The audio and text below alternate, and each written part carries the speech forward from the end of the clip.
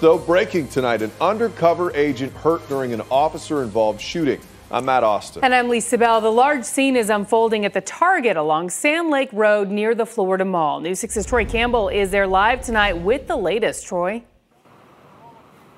Well, detectives have been out here for several hours investigating after they say one of their undercover officers was involved in a shooting. So take a look at that scene. They still have this entire section of the parking lot blocked off tonight. There's also several crime scene investigators continuing to collect evidence.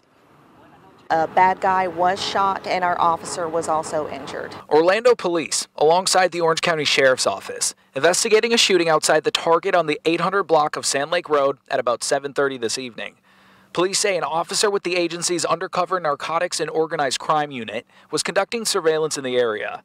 Investigators aren't detailing who fired any weapons, only saying the male suspect was shot and is in critical condition. The officer also suffering a minor injury. Where possibly some fragments went into his arm or possibly into his eye.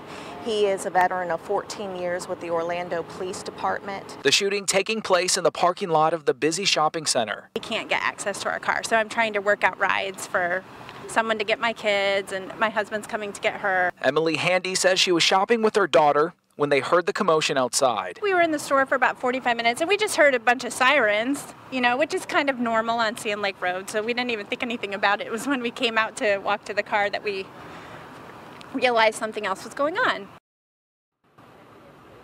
Now, if you take a look, you can also see this undercover vehicle came to a stop here in the bushes in the parking lot. But right now, it's unclear which car that agent was in. And again, Orlando police have yet to confirm who fired any weapons, but they add that investigators with the Florida Department of Law Enforcement are out here. And we also expect to learn more details in the morning. Live in Orlando tonight, Troy Campbell getting results, News 6.